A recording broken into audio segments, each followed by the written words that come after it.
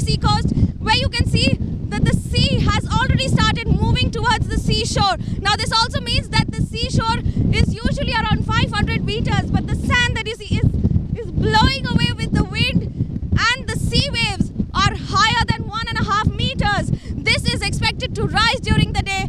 No one has been allowed near the beach. What is important is that the state government and the central government has taken measures to ensure safety of people from shifting 8 lakh people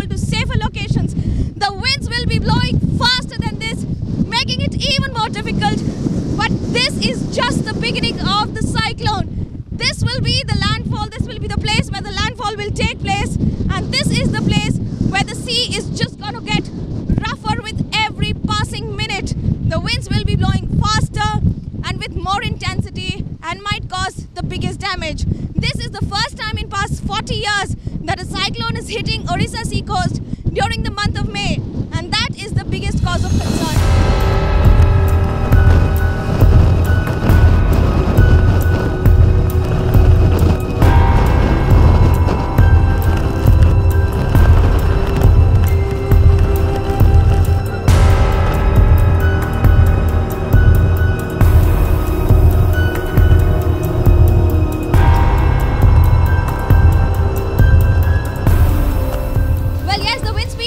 Already crossed 150 km per hour and is increasing with every passing minute. It's very difficult to even stand here. I'm holding the railing to ensure that at least the balance remains there. The sea that you see here will give you an idea on the not just about the roughness, more than one, one 1.5 meters height of the waves here, and it's increasing with every second, not even minute.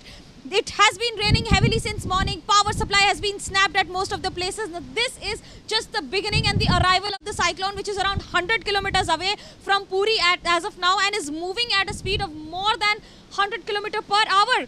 The fact that the sea has now reached to the seashore and has reached to the location which is almost near to the hotels and the main roads will give you an idea on the volume of water that would now inundate the entire region. Now, this is just the beginning of the cyclone. That means 150 kilometer per hour of wind and will increase with every minute. Around 210 kilometer per hour is expected to be the wind speed around the landfall. This will be the place of the landfall. This will be the eye of the storm, and you can imagine the Im- the impact that it would have. The doors are just banging to each other. There are gla- the glasses, the windows are banging into each other. It has become extremely difficult because there's no power supply. There's almost nothing operational in the entire Puri area as of now.